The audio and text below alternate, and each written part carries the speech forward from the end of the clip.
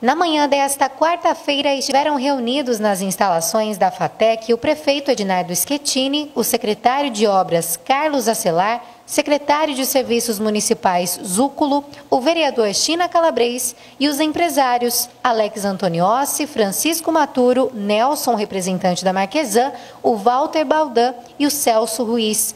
Na ocasião, foram discutidos os próximos passos para o término da instalação da FATEC em Matão. O objetivo foi avaliar o cronograma de obras, né?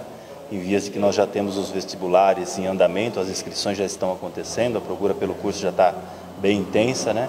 E nós, como grupo das empresas que fazemos parte junto com a Prefeitura Municipal da implantação da FATEC Matão, nos reunimos periodicamente para ter esse, essa resposta do cronograma, das obras, né?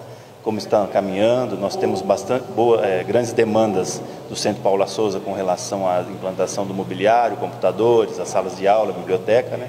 Então esse, esse, essa reunião ela tem o objetivo de avaliar em que estágio estamos, né?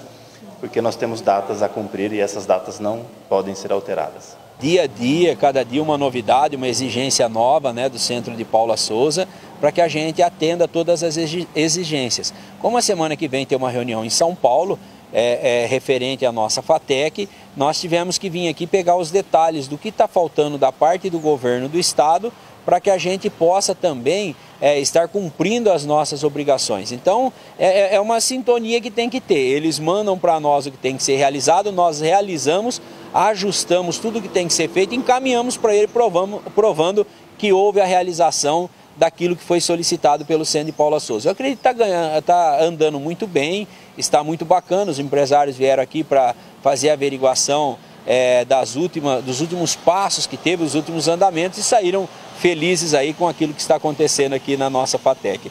É que assim, né, daqui até a inauguração, até a, a, concretização do curso, muitas vezes nós teremos que estar aqui resolvendo e vendo detalhes para que saia tudo conforme as exigências do Centro de Paula Souza. E as inscrições para o vestibular da FATEC referente ao ano de 2019 continuam abertas até às 15 horas do dia 13 de novembro deste ano.